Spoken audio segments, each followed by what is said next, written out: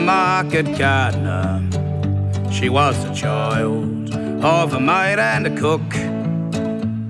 And they fought like feral cats in the schoolyards. And they married by Walker in a brook. In 19 and 13, the crops were fertile. And in 1914, they had a babe. And 1915, they had another. And in 1916, he went away. Say goodbye to old Mr. Criddle. Wave away from Munyanuka Scarp. They sent you off to France to battle. Farewell, good luck, au revoir.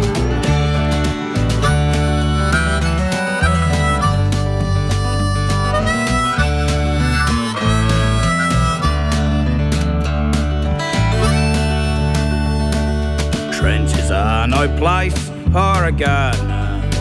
The only seas a bone washed with blood. And the rifle is a cruel big companion when a married man lies freezing in the mud.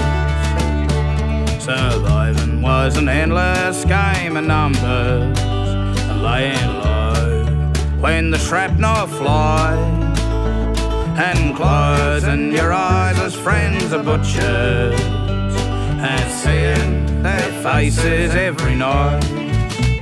Say goodbye to the Weeping River song. Fare thee well, red fields of Picardy. Well, they're sending you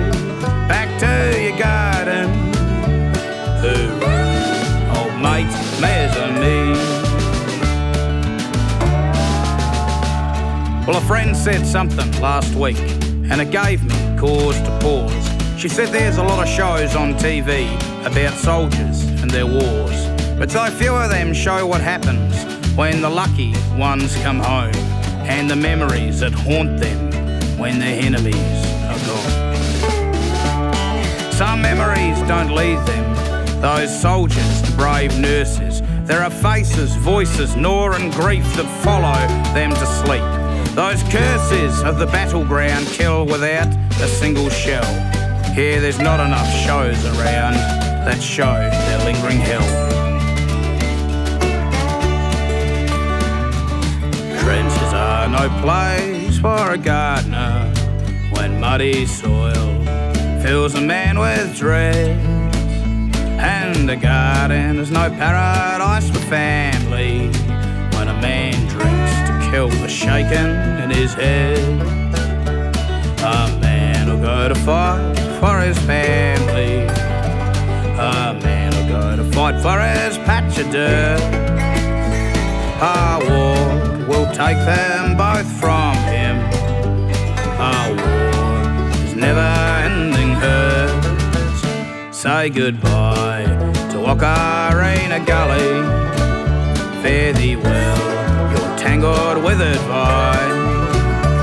For your sadness cut to date the summers. Thanks for your service, old mates.